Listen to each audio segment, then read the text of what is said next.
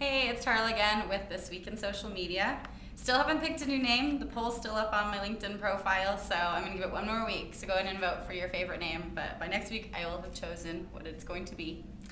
So uh, we're just going to get started. Uh, let's go ahead and start with Twitter. Surprisingly, it's uh, big in the news as always. They got more funding this week, so they're up to $55 million. They just got $35 million. So it looks like they're going to stay afloat for a while uh, look for they're going to be staffing up more, building more products. Um, so it's it's good that they're able to stay afloat.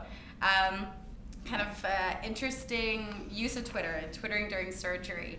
There's uh, a hospital had their chief resident twittering during a surgery. It was a kidney cancer surgery. Like every detail. Like now we're removing. Okay, I, am not going to pretend like I know anything medical, but everything they were doing, even the complications they were running into, she was bleeding out, whatever. It was uh, really interesting. I think it's a very innovative, great way to, to use Twitter, very uh, new ideas. Um, Twitter's also integrating search finally into their website. You can use other services, which I'm using like Twitter search, but now they're going to have it on their own website. So uh, they're only roll it out to a small few right now, so they can kind of work out some kinks, but eventually they'll be coming out to the masses. Uh, Google Latitude, which is the service I talked about two weeks ago, uh, reached 1 million users in a week. So just a big benchmark number. Uh, worth noting. Yahoo Search turns five years old, so it's been around a while. Not uh, always talked about in the best of light, especially when you work for a search marketing firm. Um, but you know, it's the birthday, so we'll just say congratulations, Yahoo Search, for making it this far. Um, on to Facebook news. The terms of service has uh, been having under some controversy. So earlier this month, and I'm going to read it so I get it right. Facebook users we're now granting, or, or in the terms of service, it was granting Facebook an um, irrevocable, perpetual, non-exclusive, transferable, fully paid worldwide license with the right to sublicense of their content. So this is what users were agreeing to by signing up for Facebook. So some obvious backlashes have uh, they've been facing from that. So they've changed it back to the original, and they're going to be rewriting the terms of service using users' input.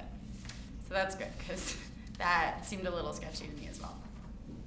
Uh, they're also launching a commenting widget. So this is in the same vein as the Facebook Connect, which they had launched previously, where you can add uh, kind of a social login feature to your own website. Same as Google Connect, which I talked about last week. Uh, that has a lot more features kind of available to it.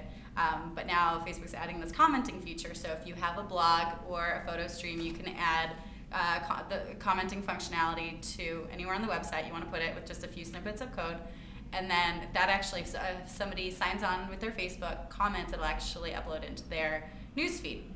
So it's really interesting. It's good that Facebook is becoming kind of more open, whereas before it was a real kind of closed book um, service. So that's good. But I think a lot of people are still thinking the Google Connect has a lot more functionality. But Facebook says that they're going to be launching more of these types of widgets and really moving into this space.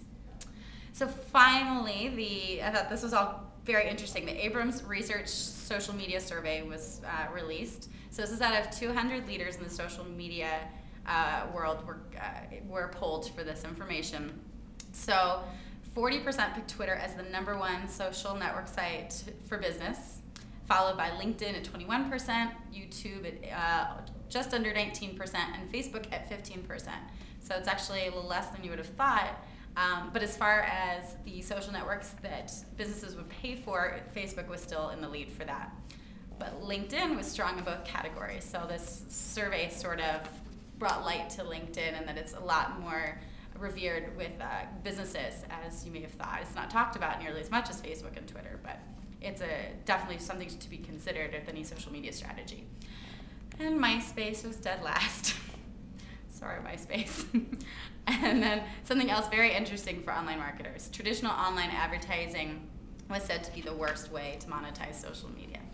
So people are really moving away from that banner advertising and looking more into innovative and engagement type of ways to use social media. So got to get creative with those media plans. And that's it for this week. So I will see you next week for this week in social media.